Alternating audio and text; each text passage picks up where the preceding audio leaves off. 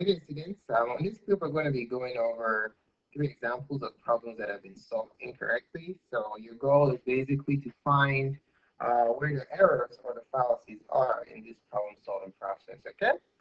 So uh, the instruction is to factor, factor the following. I can put that here, because I don't run out of space. Factor the following completely. Okay, factor the following completely. Okay, number one, we have the uh, uh, binomial expression 3x squared minus 12. Now to factor this completely, I want to first of all check to see if there is a greatest common factor I can pull out. So I find the decomposition of each term. I have 3 times x times x minus, if I break down 12 using my factor 3, I'll have 3 times 4. So we have 3 times 4. Oh wait, I can break down 2, 4 into 2 times 2. So it's 3 times 2 times 2. Okay? Now I can extract 3 and 3. That's the only greatest common factor. So I have 3 times the quantity x squared minus 4. Okay? And then to factor this, I'll just read the first, read the last, and then I'll bring down the middle sign. And my factored form is 3 times the quantity x minus 2 squared. Okay? All right, so I box that as my first incorrect answer. This problem, number one, has, it has exactly one error in it. This problem has uh, one error. Okay, so the task is to find out what the error is. All right, now let's um let's go ahead and try another example. Right now, one error. We have one error here. One error. All right, number two. So for number two, we have a perfect square trinomial, uh, which is a 4x 4x squared minus 32x minus 4. So the factor this, I just tell myself, wait a minute, since this is a square and that's a square, I'll just read the first term, read the last term, and I'm going to add and subtract the square roots. So I'm going to have 2x as the square root of 4x squared plus 2 times 2x minus 2, which is the square root of the first and the last, so the sum the difference. So there goes the complete factorization of number two. Now this so this problem has exactly two errors in it. Okay, so go ahead and find the two errors. This problem has two errors. All right, one more example, example number three. It's a little bit longer. We have a uh, trinomial expression, a quadratic trinomial x squared minus x minus 6. So First thing I do is I break down everything to see if there is a greatest common factor to be extracted. So I have x times x to decompose the first minus x minus 2 times 3. Nothing is common, so I reassemble uh, the products, to decompose products or factors into the original state, x squared minus x minus 6. Now I need four terms so I can factor by grouping. So all I do is I make my, my x. And then uh, I have, I put AC on the top and B on the bottom. Okay, so AC goes on the top, B on the bottom. So we have negative 6 is AC and 1 is B. So what works here? Two numbers that add to give you this, add to give you this and multiply to give you that. We have 3 and 2, right? Uh, but wait, 3 minus 2. So this works perfectly. So I'll insert these two terms into the middle term so that I can factor by grouping. So I have x squared uh, change the color minus 3x, oh wait, plus 3x for this, minus 2x for that, minus 6. Now I have four terms. I can break it down the center and factor by grouping, okay? Let's go ahead and insert the partition right behind this sign right here. So uh, what I'm going to have, I'm going to have from the first, from the first I'm going to break everything down so I can extract factors, all right? So I have x times x plus 3 times x minus 2 times x. If I break down 6, it's 2 times 3, okay? So I can take out x and an x from the first part. I'll have x, and I'll have x plus 3 And I can extract the minus from these two and the sign changes. I'm going to have plus 2. And I take out this 2 and then this 2. And I'm left with x plus 3. So uh, my answer is going to become x plus 2 times x plus 3. Okay? So there goes my third incorrect answer right here. Okay? So uh, this problem, this particular incorrect solution has exactly um, two errors. This one has two errors in it. Okay?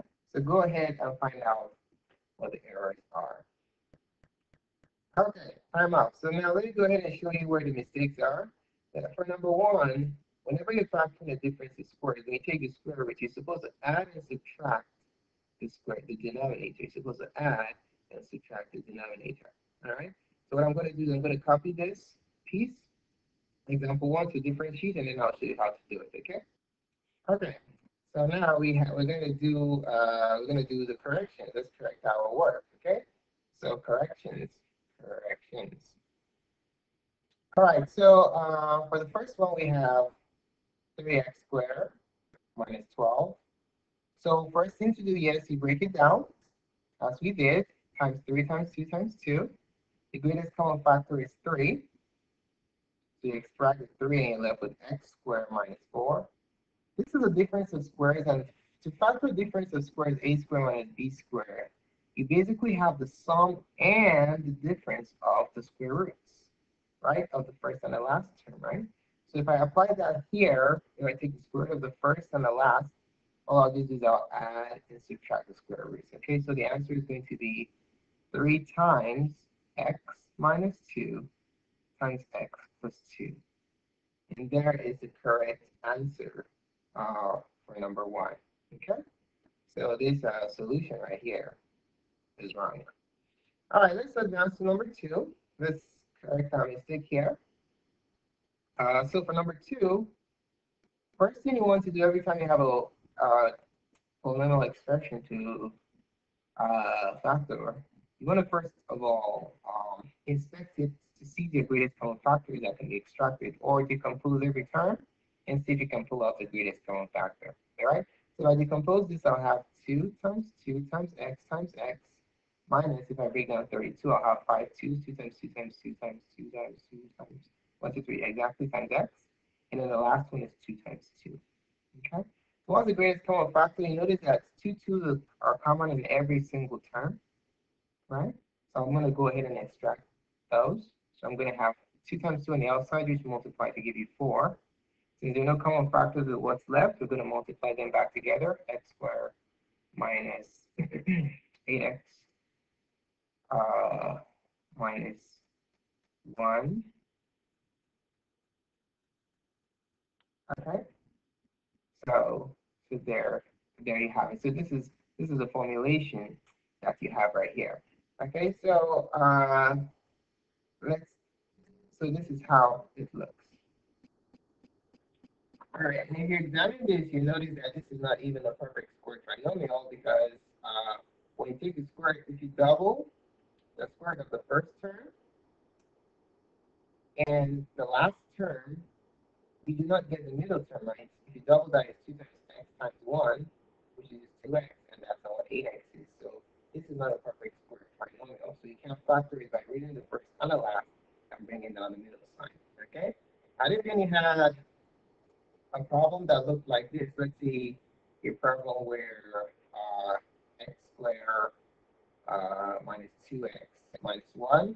And in this case, you just read the first and the last, bring down the middle sign, and it's going to be x minus 1 quantity squared. We know that this is a perfect square trinomial because if you double these two terms, you're going to get the middle term. All right, so that's how you do it. So this one, this is how, how far it goes. And this result right here all right, let's move uh, along to the last one, number three. Okay, so basically the two errors here are that uh, four cannot be factored out, and secondly that this is not a perfect square trinomial. Okay. All right, let's move on to number three. Uh, so for number three, um, we have x squared minus x minus 6. So break everything now down, x times x minus x minus 2 times 3, which is correct. Nothing comes out, so we, re we, we reassemble it as it was before. And then to make it into a factorable uh, polynomial uh, with four terms, we make our x game and find the two numbers that makes uh, this factorable by grouping, okay? So this is where the first mistake occurred. AC is negative 6 and B is negative 1, not 1, alright? So there goes the first mistake right here. So this x, x, x game right here is wrong, alright? So to make this work, we have negative 3 and 2. Alright, so negative 3a plus 2 is negative 1. So we plug that in, x squared minus 3x plus 2x uh, minus 6. We break it down to center and factor by grouping. So from the first two, uh, oh, let's break it down so it's easy to factor. x times x minus 3 times x plus 2 times x minus 2 times 3. So we take out x from the first two, x times x minus 3. And then we take out 2 from the last two. Now, this is another mistake that was, uh, that was made. When you, this middle sign never changes. You're supposed to drop down this middle sign to minus, so x minus 2 here. You see the sign? It stays the same. Okay? Since we're factoring out the positive, positive has no impact on the other sign, okay? x minus 3. All right, whenever you factor out a negative, however, it does have an impact here, so it just changes to a plus, all right? So these two are identical, factor them out as 1, and then x plus 2. This is the correct uh, result to that original problem, okay? So this is the correct answer, and the other one, this is correct, and this is wrong. Okay, so your first error here was the AC, and then the second error was this error with this sign right here. Clicking this sign is inaccurate. So thanks so much for taking the time to watch this video. Please subscribe to my channel for more cool math videos just as this. More videos can be found on mathvideos.com. Thanks again and have a wonderful day.